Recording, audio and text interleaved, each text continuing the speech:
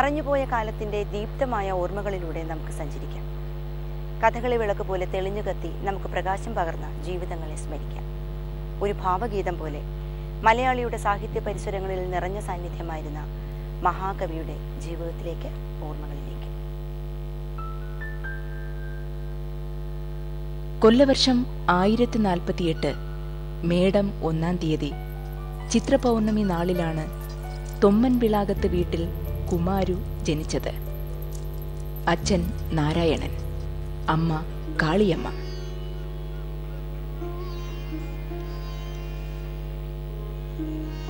ഏഴാം വയസ്സിലാണ് സമീപത്തുള്ള നാട്ടുപള്ളിക്കൂടത്തിൽ കുമാരൻ വിദ്യാഭ്യാസം ആരംഭിച്ചത്. കുട്ടിക്കാലത്ത് തന്നെ വായനാശീലം അദ്ദേഹം വളർത്തിയെടുത്തിരുന്നു. കവിതയോട് പ്രത്യേകമായ ഒരിഷ്ടം കുമാരുവിനുണ്ടായിരുന്നു. വായിച്ചു തുടങ്ങിയാൽ മറ്റുള്ളതെല്ലാം മറന്നുപോകും. കുമാരനാശാന് പതിനെട്ട് വയസ്സായപ്പോൾ അദ്ദേഹത്തിന്റെ അച്ഛന്റെ അഭ്യർത്ഥന പ്രകാരം ശ്രീനാരായണ ഗുരു കായിക്കരയിലെ വീട് സന്ദർശിച്ചിരുന്നു. ആശാനിലെ കവിതാവാസന തിരിച്ചറിഞ്ഞ ശ്രീനാരായണ ഗുരു കുമാരുവിനെ തന്റെയൊപ്പം വരാൻ ക്ഷണിച്ചു. ഇത് ആശാനിൽ വലിയ മാറ്റമുണ്ടാക്കി. മഹാകാവ്യം എഴുതാതെ തന്നെ മഹാകവി എന്നറിയപ്പെട്ട കുമാരനാശാൻ പിൽക്കാലത്ത് ഉള്ളൂർ വള്ളത്തോൾ എന്നിവരോടൊപ്പം കവിത്രയങ്ങളിൽ ഒരാളായി മാറി. ഇനി നമുക്ക് തോന്നക്കിലുള്ള ആശാൻ സ്മാരക മന്ദിരത്തിലേക്ക് യാത്ര തുടരാം.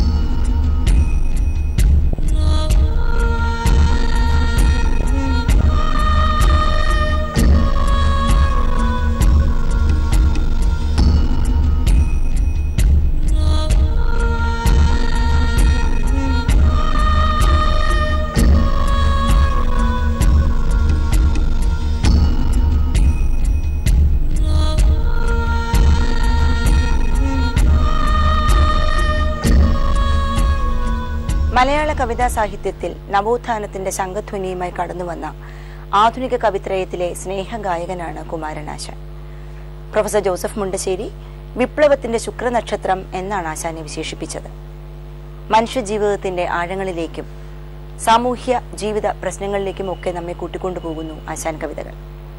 ആ മനുഷ്യ മഹാസ്നേഹിയുടെ ജീവിതത്തിലേക്ക്. ആയിരത്തി എണ്ണൂറ്റി തൊണ്ണൂറ്റിയഞ്ചിൽ കുമാരുവിനെ ഗുരു ബാംഗ്ലൂരിലേക്ക് അയച്ചു. സംസ്കൃത പഠനമായിരുന്നു ലക്ഷ്യം. അവിടെ വച്ച് അദ്ദേഹം തർക്കശാസ്ത്രത്തിലും പ്രാവീണ്യം നേടി.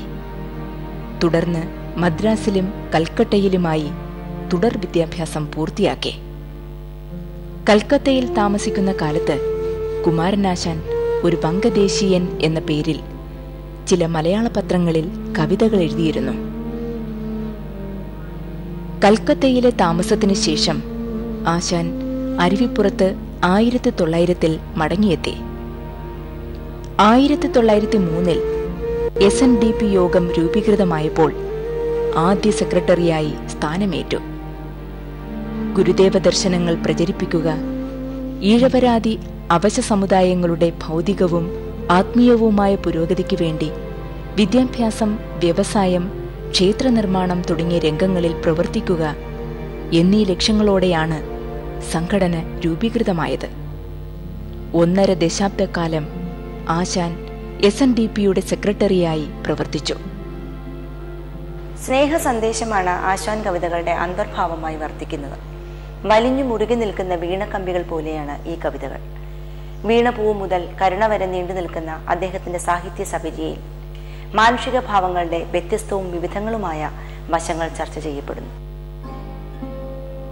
മലയാളത്തിൽ പ്രണയകാവ്യങ്ങൾ മുട്ടിട്ടത് എ ആറിന്റെ മലയവിലാസം എന്ന കൃതിയിലൂടെയാണെങ്കിൽ അത് പൂത്ത് തളിർത്ത് വിലസിയത് ആയിരത്തി തൊള്ളായിരത്തി ഏഴിൽ പ്രസിദ്ധീകരിച്ച ആശാന്റെ വീണപ്പൂവിലൂടെയായിരുന്നു തുടർന്ന് ആശാന്റെ തൂലികയിലൂടെ കാവ്യവസന്തത്തിന്റെ മലർവാടി പൂത്തുലഞ്ഞു.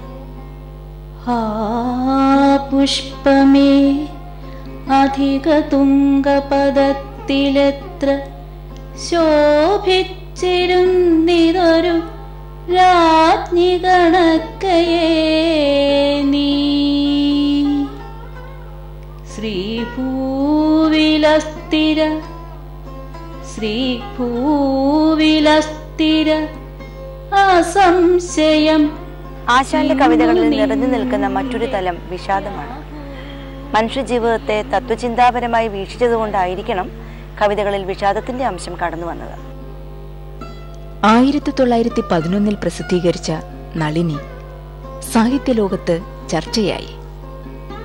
ജീവിതത്തിലെ നൈമിഷിക സുഖങ്ങൾ വലിച്ചെറിഞ്ഞ് ദിവാകരൻ പോകുമ്പോഴും നളിനിയിലൂടെ ലൗകിക ജീവിതത്തിലേക്ക് തിരിച്ചു വരാനുള്ള അഭിവാഞ്ച ഇവിടെ കാണാം.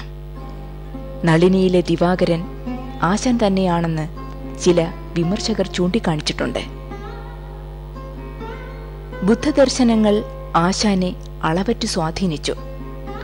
എഡിൻ ആർണോൾഡിന്റെ ലൈറ്റ് ഓഫ് ഏഷ്യ എന്ന പുസ്തകത്തിൽ നിന്ന് പ്രചോദനം ഉൾക്കൊണ്ടാണ് ശ്രീബുദ്ധചരിതം അദ്ദേഹം രചിച്ചത്. ചണ്ടാല ഭിഷുകിയിലും കരുണയിലും ബുദ്ധദർശനങ്ങൾ കടന്നു വന്നിട്ടുണ്ട്. ഒരുപക്ഷെ മലയാളത്തിലെ ആദ്യത്തെ ഫെമിനിസ്റ്റ് കവി കുമാരനാശാനായിരിക്കും. ആയിരത്തി തൊള്ളായിരത്തി പത്തൊൻപതിൽ പ്രസിദ്ധീകരിച്ച ചിന്താവിഷ്ടയായ സീത എന്ന കൃതിയിലൂടെ സ്ത്രീ സ്വാതന്ത്ര്യ പ്രശ്നങ്ങൾ മലയാളത്തിൽ ആദ്യമായി ഉയർത്തി. രാമനെ പ്രതിക്കൂട്ടിൽ കയറ്റി നിർത്തി ചോദ്യം ചെയ്യാൻ ചങ്കുറ്റം കാണിച്ച സീതയെ ആശാൻ ഈ കാവ്യത്തിലൂടെ വാർത്തെടുത്തു. ആശാന്റെ മാസ്റ്റർ പീസായി ചിലർ കാണുന്ന കരുണ കാവ്യലോകത്തെ പുതിയ മാതൃകയായിരുന്നു. സുഖഭോഗങ്ങളുടെ ലോകം നൈമിഷികമാണ് എന്ന് കരുണയിലെ വാസവദത്തയിലൂടെയും ലോകസമാധാന ദർശനങ്ങളെ ഉപഗുപ്തനിലൂടെയും മലയാളികൾക്ക് മുന്നിൽ മനോഹരമായി അവതരിപ്പിച്ചു ആശാൻ.